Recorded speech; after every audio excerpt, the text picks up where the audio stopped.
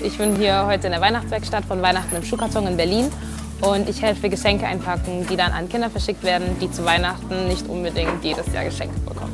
Also heute ist schon mein zweiter Tag hier in der Werkstatt und gestern waren alle sehr motiviert dabei. Und wir haben auch am Ende des Tages bis zu 3.306 Kartons ähm, fertig gepackt. Und ja, das ist schon eine stolze Zahl, wenn man mal überlegt, wie viele alles an einem Tag zusammenkommt, kann man sich schon glücklich schätzen. Die Geschenke ähm, werden von verschiedenen Leuten hergeschickt mit ganz vielen lieben Sachen drin und Spielzeugen, Klamotten oder sonstigen Sachen. Und dann gucken wir, ob alles in dem Karton so stimmt, was da alles drin ist, ob das so weiter kann. Und dann wird das ähm, ja, schön verpackt und weitergeschickt. Ich bin überwältigt von den Sachen, die die Leute in diese Geschenkkartons einstecken, denn es ist wirklich schön zu sehen, dass viele Leute ähm, Sachen einkaufen für Kinder, die nicht mal deren eigenen sind.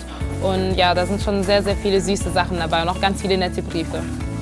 Meine Motivation heute hier zu sein ist ähm, einfach auch meine Reichweite dazu zu nutzen und zu zeigen, dass Weihnachten nicht nur ein Fest ist, wo man ähm, Geschenke bekommt und ähm, Geld ausgibt, sondern auch ähm, an andere Leute denkt, Nächstenliebe ausübt und ähm, ja, viel Zeit mit anderen Leuten verbringt. Wenn auch du mitmachen willst, dann komm bis zum 15.12. hier in die Weihnachtswerkstatt und ja, helf mit, pack mit an und hab viel Spaß.